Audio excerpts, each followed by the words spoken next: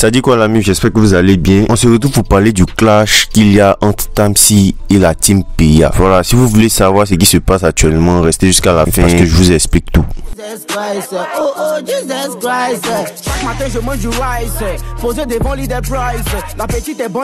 Il y a des rumeurs qui circulent selon laquelle Tamsi et Team PIA ne s'entendent plus à cause du son du matou qui pop beaucoup actuellement. C'est un disque vu que le son coup du matou prend actuellement. Team PIA veut avoir tous les mérites des différents cachets. D'autres disent aussi que Tamsi ne les doit rien vu qu'il les a juste invités en featuring sur le son et que c'est lui le vrai propriétaire du son en fait. Propos donnés par une internaute sur TikTok qui a beaucoup fait réagir. Et dans ses propos, elle a aussi dit que Tamsi devait partir même en France pour un concert et la team PIA a refusé. Vu que c'est lui et la team PIA qui ont fait le son coup du matou. Eux ils disent pourquoi lui veut partir lui seul? Pourquoi? Logiquement, les gens ont donné leur avis dans les commentaires. Voilà. Certains disent de toute façon, Tamsi n'est rien sans team PIA vu que c'est eux qui ont chanté tout le son. Comme celui-là qui dit, mais sans cela, Tamsi est quoi? Soyons sérieux, Tamsi a chanté quoi dedans? Tout le son a été chanté par Team PIA. Un autre qui dit, grâce à Team PIA que le morceau moussin.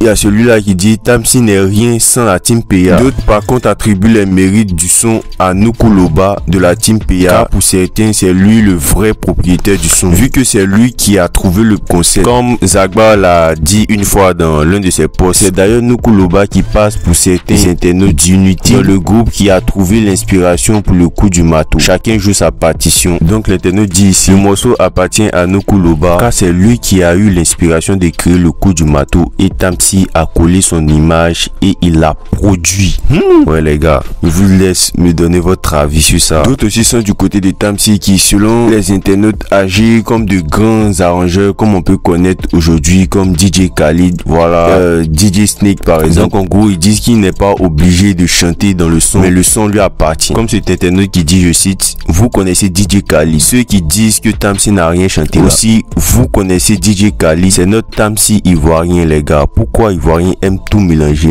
Bon à force les gens parlent tout le temps, Tamsi et Zagba ont pris la parole sur le sujet en disant qu'il n'y avait pas par Voilà, ils ont fait un post à titre humoristique voilà pour rire de la chose. Mais est-ce que c'est vrai? Question. Donc c'était tout la mif. Et on se dit à la prochaine